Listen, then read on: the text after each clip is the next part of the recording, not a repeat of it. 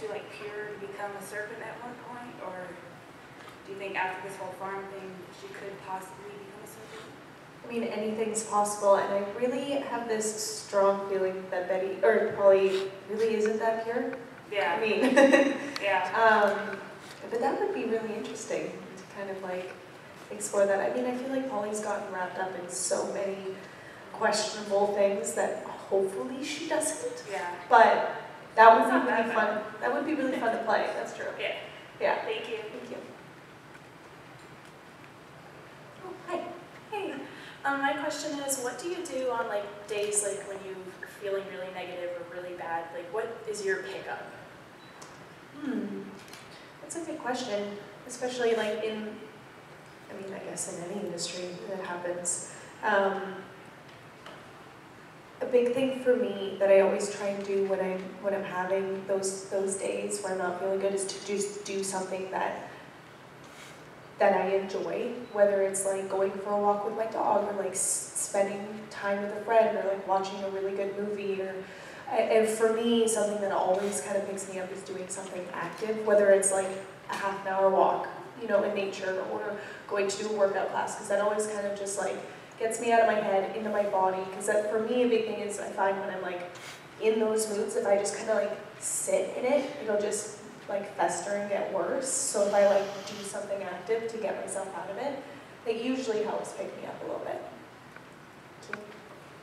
Hello again. Hi. So my question is, what inspired you to be an actress? Hmm.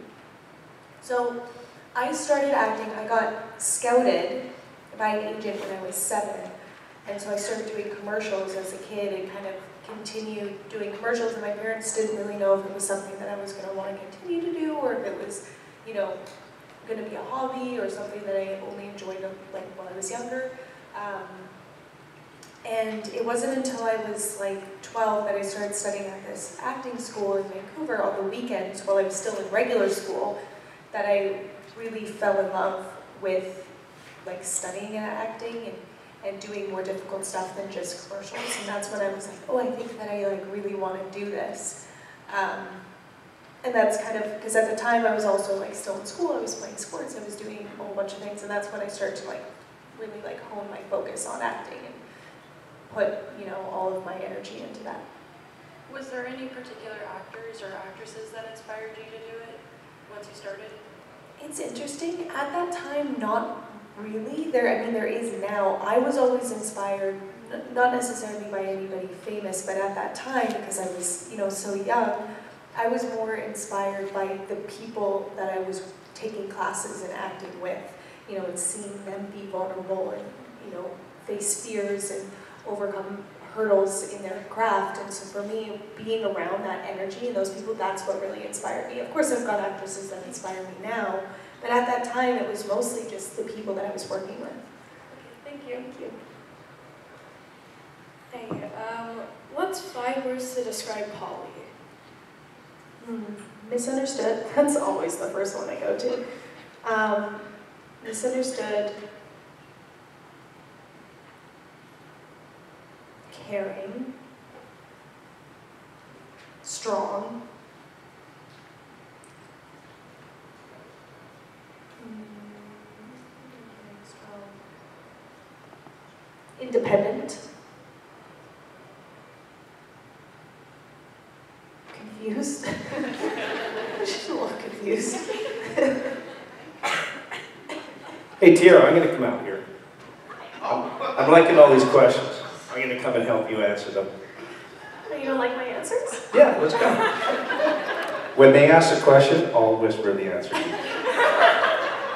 what dads do, right? Hey, what's going on over there? That's a good looking shirt. Thank you. Do you know if there's going to be any new people on Riverdale in season four? Do we know if there's going to be any New characters? new characters? you said you were answering me. really? I have no idea. I, I really don't know anything about season four. I don't really think any of us do. But we never know from episode to episode. Yeah. To tell you the truth, honestly, I can tell you guys, I'm not even sure if uh, the Black Hood slash Hal Cooper is even dead. I know it looked like it, but there was no body seen, right? Did you guys see a body? Or did you just hear a gunshot and then Lili freaking out? Yeah, ponder that one for a while. And we'll answer this next. Are you have two questions or one? Oh, okay. You scared her away. I know, I scared the hell Why out of her. Are you still here? And I didn't even have my hood on. Wait till I put my hood on later. How you doing? I was just wondering, how long does it take to film a season, and what is the like time that you go in, and how long do you work till? So, call times and, and end times. Um, well, how many months do we film the season? Like ten? Well, like, like how many months is the whole season? Yeah, it's almost 10 months Ten now, yeah. Yeah, it goes from beginning of July until the beginning of April. Yeah. So, I mean, yeah, like, yeah, nine, nine to 10 months, yeah. Um, and the days kind of depend, like if you're in all day, every scene, it can be long, like 16 hour days. Once you like drive there in hair and makeup, then film the whole day, get home. Um, yeah, they, they're really long days. I mean, there's some days where you're only in one scene, so you're like just there for a couple of hours and then go home, but usually they're quite long days. We shoot um, eight-day episodes, is just the main unit. And then just for the fact that we have such a, an abundance of cast on our show, and so, you know, things take a lot longer the more cast that are on, on that day. The fact that they have to light everyone in the scene, and it's just, it's just grueling. And um, so they added a second unit onto our show, so we're always doing tandem units, you know, so um, now the shows become sort of like 10-day episodes. And um, like Tiera was saying, you know, how, how schedules work is that you start as early as you can on Monday, and then as the week goes along, you have to have turnaround time uh, in between work. So let's say Monday you started at 6 a.m. and you wrapped at 8 o'clock at night. Well, you can't start the day on Tuesday until 8 in the morning. Now you're going from 8 in the morning until midnight. Well, the next day you can't start until 12 in the afternoon, and so on and so on. So how it breaks down is that in the schedule, they look at what day stuff they need and what night stuff they need, and everything for the nights always ends up Thursday, Fridays.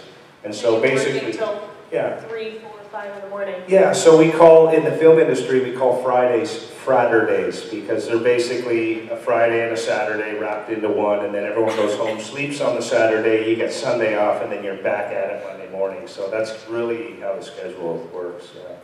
Thank you very much. You welcome. Um, what do you think it would be like if you were cast as Betty and Lili was cast as Polly? Well, I'd be a lot busier than I am. No, I'm just kidding. um, I don't know. That would be weird. I'm, I'm so used to the other dynamic that I'm, I'm not sure. Did you ever read for Betty? Yeah, like like five times. Did you? And then my last one, I got too overexcited and I totally bombed it. And then they brought me in for Cheryl, and then I was like, this isn't gonna work. Um, I read for Fred. That's how, that's the part I read. I read for Fred, and then, um, and then when Luke stepped in, they asked if I'd be interested in playing Hal Cooper, and I had no idea who that was. Yeah, sure. Who's Hal? I, I sort of remember now that I started playing him, I remember him in the, in the comic book, but I wasn't too sure, because I, at that point, I mean, the writers never give us the scripts, let alone the pilot script. So, I And was- nothing's like the comics, anyways. Yeah, yeah. It's just been. Yeah, You would have been a great Betty. You would have been a great Cheryl. I would not have been a great Cheryl. You suck as Paul. So that's why you sent me away? I, I understand, I get it. So you said you were a fan of the comics as a kid, so who is your favorite character in the comics? I was always a Betty fan, which is again why I think I got so overexcited. Um, but I, yeah, I like went through a summer where my dad would drive me around to a bunch of used bookstores, and I would just like collect stacks of Archie comics and read like read them all day long. So, yeah. Thank you. If you guys could be on any other show on TV right now, what would it be and why? Oh.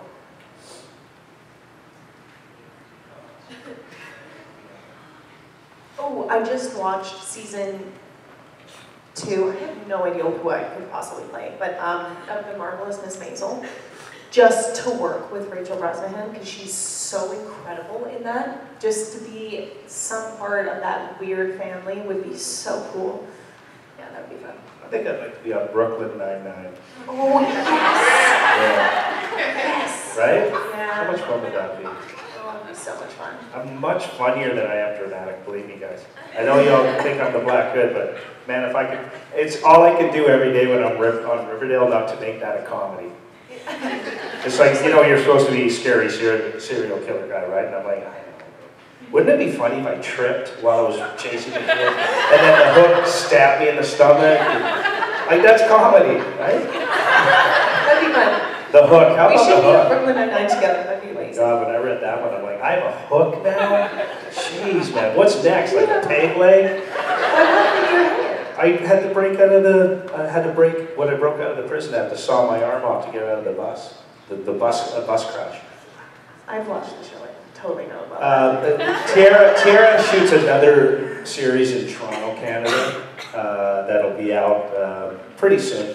And so she's been busy, she, she used to fly back and forth from Toronto, so, um, so I always have to catch her up on what's going on in Riverdale, so. Yeah, I, I was in a bus crash, Oh, yeah, wow. and I broke out. Like And I have a Halloween hook. style. What's that? Halloween style. Yeah, it was totally, well, here's the funny thing is, is that I think the hook is a bit of a, a- an homage to, um, I Know What You Did Last Summer, right? Kind of? And the funny thing is, and you guys are pretty young for this, maybe the parents will know. So I did a movie called Scary Movie, I don't know if you saw it. So basically, in that movie, I just kind of um, spoofed Ryan Phillippe from I Know What You Did Last Summer. So now I've got two spoofs going on I Know What You Did Last Summer with my hook now. So what's next? What's Jennifer Love Hewitt doing? I think I'll spoof her now. Yeah, exactly. Good? Yeah, I, th- you, you get to go and um, do some meet and greets, I think, right? Uh, so, go ahead, I'm sorry. Tiera Skovbye, everyone. I wanted you to do your own outro. Thanks, Tiara. We'll see you in just a bit. Okay, one second, guys. I just have to get my. I t- stay right there. Don't go anywhere. Hold on. I'll talk to you from back here. One second. I wasn't prepared for this.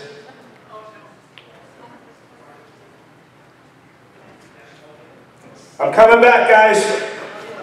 I'm coming back. I had to get uh, directions from my boss. Okay, so uh, next up is going to be a game that you guys get to uh, be involved with called the Yes No game.